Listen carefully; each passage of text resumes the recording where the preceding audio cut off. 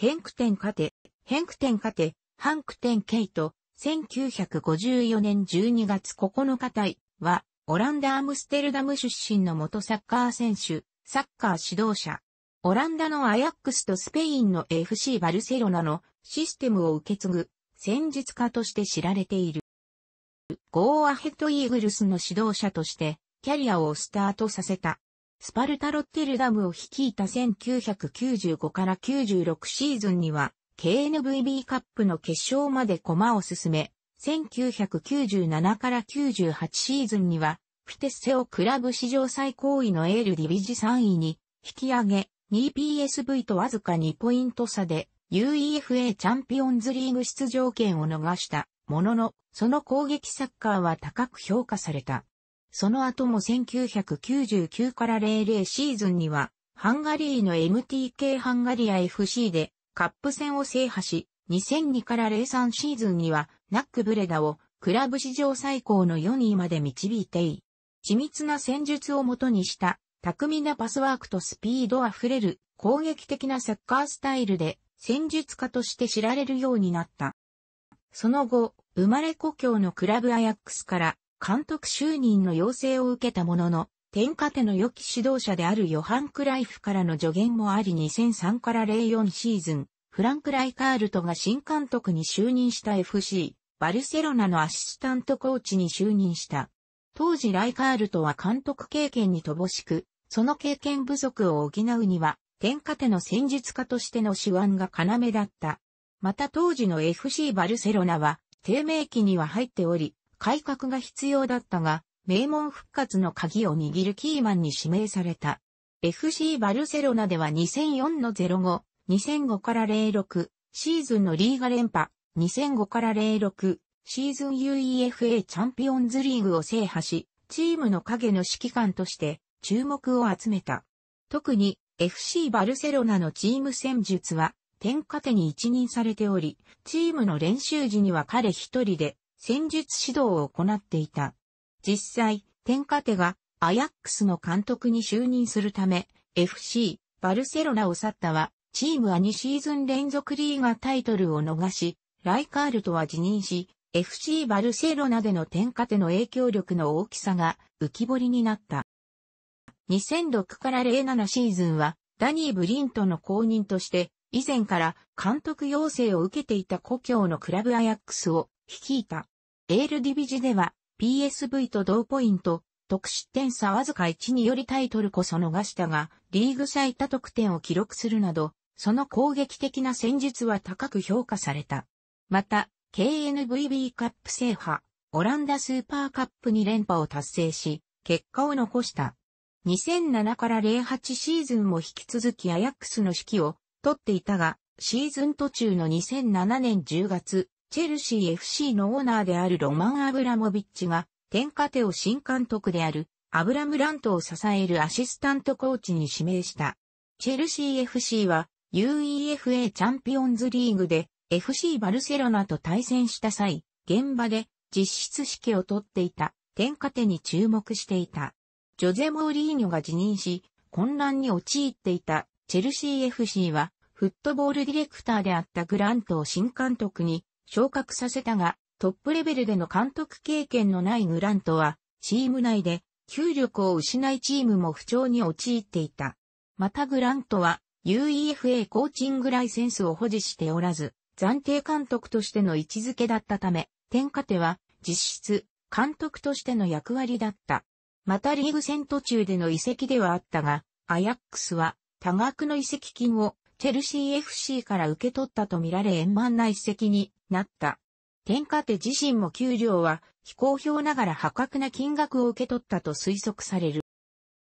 2007から08シーズン、シーズン途中の10月からチェルシー FC へ加わった天下手だったが、戦術家としての手腕を発揮しチームは徐々に息を吹き返し、リーグ戦では前年同様マンチェスターユナテッド FC に優勝を譲ったものの、優勝争いは最終節までもつれる猛追を見せた。またクラブ史上初めて UEFA チャンピオンズリーグ決勝進出を果たした。しかし、ここでもリーグ戦同様にマンチェスターユナイテッドと優勝を争い、決勝戦は延長戦を含む120分でも決着がつかず、PK 戦にも連れ込むが、チェルシー FC は、またしてもマンチェスターナイテッドの前に敗れ、悲願のチャンピオンズリーグ制覇を目前で逃すこととなった。あと一歩のところで、リーグ戦とチャンピオンズリーグタイトルを逃した責任を取り、グラントと天下手はシーズン終了後に辞任した。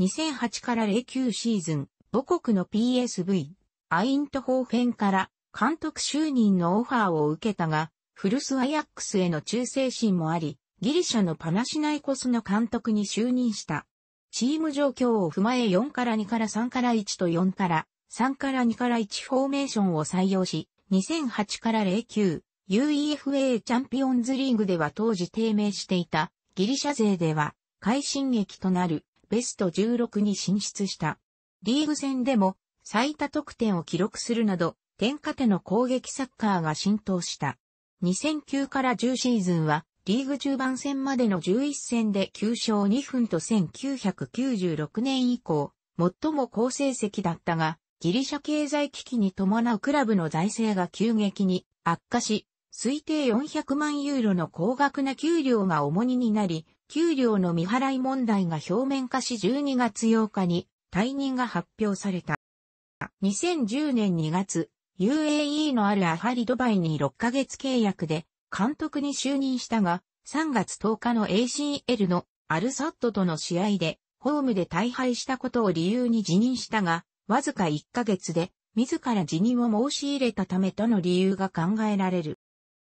攻撃的なスタイルを好み、オランダのハウススタイルである4から3から3をベースに、4から2から3から1、4から3から2から1をチームのコンディションと起用する選手によって使い分けるオランダ有数の戦術家として知られ、人とボールが動くスピードあふれるサッカーで一時代を築き、たびたびオランダ代表監督候補に名前が上がるほど戦術家としての評価は高い。特に天下手はスペースの使い方とポジショニングを徹底させることがチーム作りの基礎であると考えている。またその戦術はヨハン・クライフが FC バルセロナに持ち込んだ4から3から3のシステムにも、ポジショニングとスペースの使い方に関して、明確なルールを作った上で、細かい動きは、選手のアイデアに任せることにより、選手の特徴が活かされ、選手とボールが動き続ける、画期的な戦になった。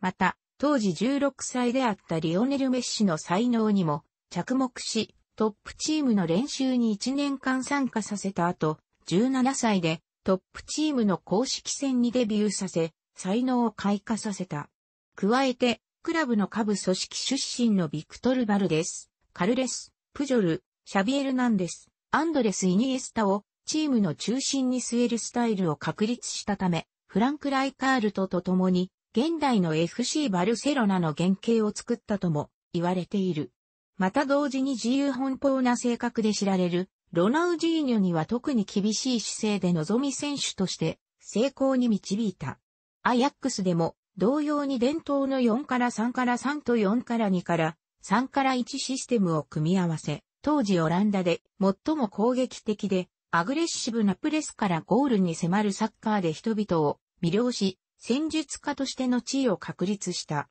またアヤックス監督時代には当時無名選手でフロー人間でプレイしていたルイス・スワレスの才能に、いち早く注目し獲得するなど、選手のスカウティング能力にも長けている。規律を重んじ厳格な性格で知られているが、楽しくご覧になりましたら、購読と良いです。クリックしてください。